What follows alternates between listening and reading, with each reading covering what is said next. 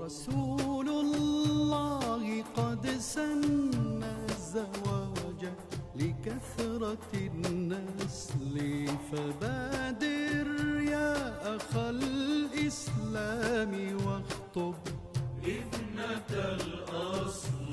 يزين قدها دين كساها حلة الفضل وأعطى. طيب مبسمها عبير المسك بالقول. فتاة قلبها سكن يضم الزوج في حل. فتاة قلبها سكن يضم الزوج في حل. السلام عليكم ورحمة الله وبركاته. بسم الله الرحمن الرحيم، الحمد لله رب العالمين، وصلى الله على سيدنا محمد وعلى آله وصحبه أجمعين. اللهم علمنا ما ينفعنا وانفعنا بما علمتنا، وزدنا علما وعملا متقبلا، أرنا الحق حقا وارزقنا اتباعه، وأرنا الباطل باطلا وارزقنا اجتنابه، نسألك علم الخائفين منك وخوف العالمين بك وبعد. مرحبا بكم في الحلقة الثامنة والعشرين من الدورة التأهيلية للحياة الزوجية. كنا مررنا في هذه الدورة على مراحل الزواج وما قبل الزواج والخطبة والعقد وما إلى ذلك، ودخلنا إلى داخل البيوت وتحدثنا عن الرجال والنساء داخل البيوت. ووصلنا في الحلقة الماضية معكم إلى حديث مهم جدا ودقيق جدا وخطير جدا وينبغي على كل شاب وكل فتاة يمضيا نحو الزواج أو هما متزوجان أن يتعلما مفرداته وهو بحث الطلاق. وقد قال رسول الله صلى الله عليه وسلم: لعن الله كل مذواق مطلاق. الرجل الذي يتزوج كثيرا وفي نيته أن يطلق كثيرا الله عز وجل لا يحبه. وقد قال النبي صلى الله عليه وسلم لا يفرك مؤمن مؤمنة. يعني لا يبغض لا يفرك مؤمن مؤمنة إن كره منها خلقا رضي منها آخر. وإنك لن تجد زوجة كاملة. وإنك لن تجدين زوجا كاملا اللهم إلا أن تكوني في الجنة أو أن تكون أنت في الجنة.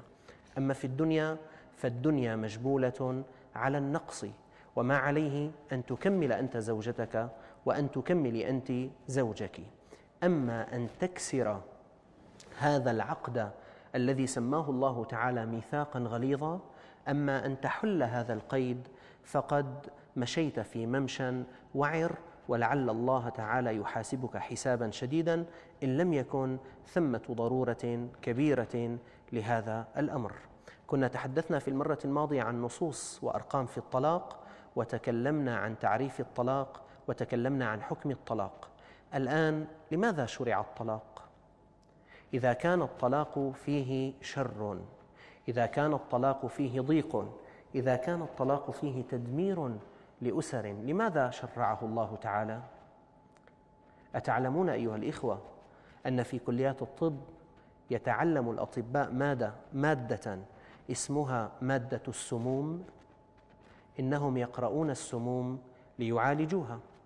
وربما احتاجوا سما في يوم ما لعلاج ما. أتعلمون أن طبيب الأسنان يستخدم في عيادته مادة قاتلة اسمها مادة الزرنيخ؟ إنها مادة سامة وقاتلة لكن لها استخدام في مكانها المناسب. ألستم تخبرون أن في جراحة الطب مادة تدرس أيضا بين الأطباء وفي الجامعات تسمى مادة البتر؟ أحيانا يلجأ الطبيب إلى بتر عضو من الأعضاء. لماذا؟ لأن بقاء هذا العضو سيؤدي إلى تموت سائر أعضاء البدن. فأنا بالخيار بين شرين أحلاهما مر. أختار الشر الأخف لأدفع الشر الأكبر. وقد حدثني طبيب عينية في يوم من الأيام وقال إنهم في طب العيني يلجؤون أحيانا نسأل الله السلامه لنا ولكم إلى قلع العين. قال لي لقد قمت بهذه العملية في حياتي مرتين. قال لكن يا أستاذ صدقني في المرتين وأنا أقلع العين كنت أبكي ويبكي معي الطاقم الذي يعالج في غرفة الجراحة. وحدثني طبيب جراح مختص في طب الطوارئ قال بأنه احتاج مرة إلى بتر قدم. وقال لي هو أيضا إن المشفى كلها اهتزت عندما بترنا تلك القدم. الطلاق هو كقلع العين. الطلاق هو كبتر القدم. الطلاق هو كمادة سمية لكنك تحتاج إليها في بعض الأحيان. الإسلام شرع الطلاق دواء لحالة يستحيل أن تستمر الحياة معها بل إن استمرت الحياة لأدت إلى جنجرين في كل هذه الأسرة. لأدت إلى تموت في كل هذه العائلة. لأدت إلى خصومات الله بها عليم وشجارات لا يحلها إلا الطلاق. شرع الطلاق لحل مشكلة كبيرة وليس لصنع مشكلات جديدة. فمن أراد أن يطلق فعليه أن يطلق بعد دراسة عقلية مستفيضة وبعد اختيار أو اختبار أو استشارة لأناس عقلاء يثق بدينهم ويثق بأخلاقهم وبناء على دراسته وعلى دراسة زوج زوجته يجدون أن أفضل حل هو الفراق بين هذين الشخصين فيتم عندها الطلاق. أما أن يأتي رجل إلى بيته فلا يجد الطعام جاهزا فيقول لزوجته هي طالق فما بهذا أمر الله ولا شرع الطلاق لمثل هذه الحماقة.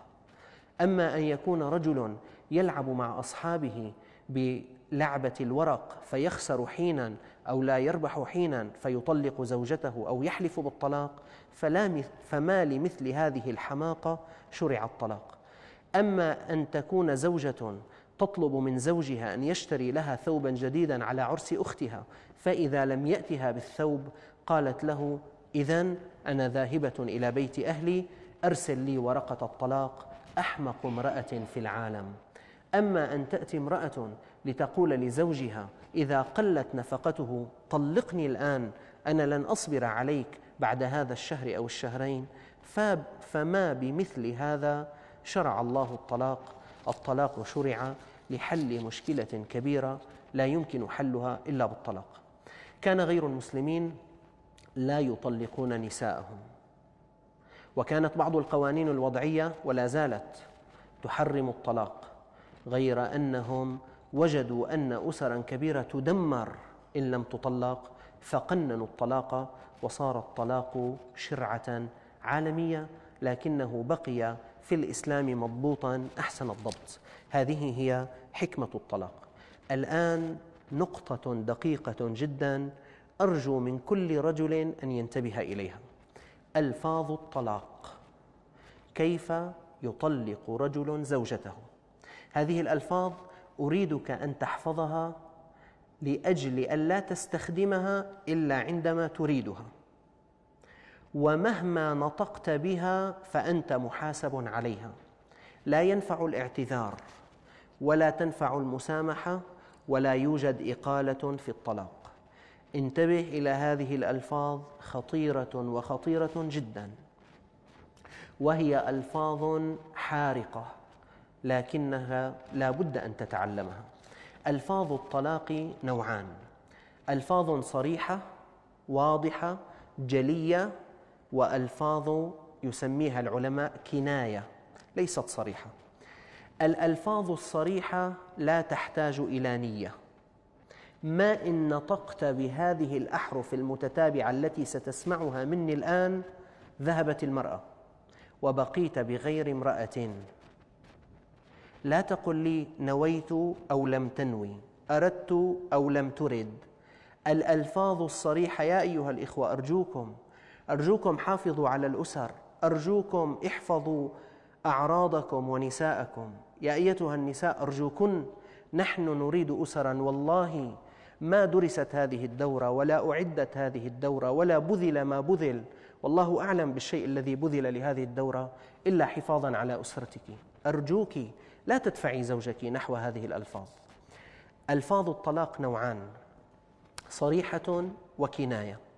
أما الألفاظ الصريحة فهي الطلاق والفراق والسراح. أكثر الناس الآن يستخدمون كلمة الطلاق.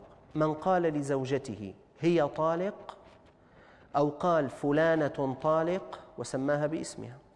أو اتصل بها بالهاتف وقال أنت طالق.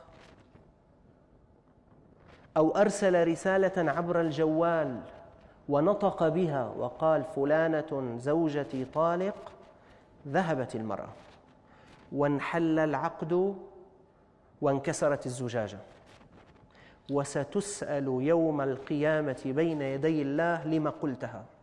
ووالله لئن لم يكن بين يديك حجة لتحاسبن حسابا عسيرا. مهما صليت أو صمت أو زكيت أو حججت لقد كسرت أسرة عقد ما بينها رب العالمين بميثاق غليظ. أتذكر تلك الكلمة التي قلتها لعمك زوجني ابنتك وقال نعم زوجتك؟ أتحسب أن هذه الكلمة جاءتك من عند القاضي الشرعي أو من عند الشيخ الذي عقد العقد أو من عندك أو من عند أبيك؟ هذه كلمة شرعها الله من السماء. اسمع إلى حديث النبي صلى الله عليه وسلم إذ يقول استوصوا بالنساء خيرا. فإنهن عندكم عوان يعني أسيرات. زوجتك في بيتك أسيرة. ارحم هذه الأسيرة يا أخي. أخذتموهن لا تنام الزوجه حتى يأتي زوجها. لا تاكل الزوجه حتى يأكل زوجها. لا تستيقظ إلا بالوقت الذي يناسب زوجها. أسيرة لا تخرج من البيت إلا بأمرك. أهكذا يفعل بالأسير. استوصوا بالنساء خيرا. إنهن عندكم عوان أخذتموهن بأمانة الله. زوجتك عندك أمانة ليست من أبيها أمانة من الله. بالله عليكم لو أن الله وضع عندك هرة وقال هذه أمانة عندك. بالله عليك ماذا تطعم الهرة؟ بالله عليك أين تجعلها تبيت؟ بالله عليك كيف تعاملها؟ وهي هرة كيف بالزوجة؟ كيف بأم الأولاد؟ كيف بهذه التي صبرت عليك أربعين سنة؟ في شدتك وفي ضيقك وفي كربك. أتذكر وأنت مريض في المشفى؟ من الذي قام عند قدميك؟ أتذكر عندما بقيت في بيتك أشهرا ثلاثة أو أربعة. من كان الذي يعينك؟ أليست هي تلك المرأة؟ الآن عندما صرت قويا طلقتها؟ ما هكذا يفعل النبلاء؟ استوصوا بالنساء خيرا. فإنهن عندكم عوان أسيرات. أخذتموهن بأمانة الله والشاهد هنا. واستحللتم فروجهن بكلمة الله. هذه الكلمة زوجني ابنتك زوجتك ليست من القاضي الشرعي. إنها كلمة الله. كسرتها أنت الآن. عندما تقول هي طالق. ألفاظ الطلاق الصريحة ثلاثة. الطلاق والفراق والسراح. إذا قلت لزوجتك هي طالق أو قلت لزوجتك فارقتك أو قلت لزوجتك سرحتك فقد مضت الزوجة. نويت أو لم تنوي. لا تقل للقاضي الشرعي لم تكن عندي نية. خلاص خرجت هذه الكلمة وستحاسب عليها فكن دقيقا بها. نتابع حديثا عن ألفاظ الطلاق بعد الفاصل فابقوا معنا.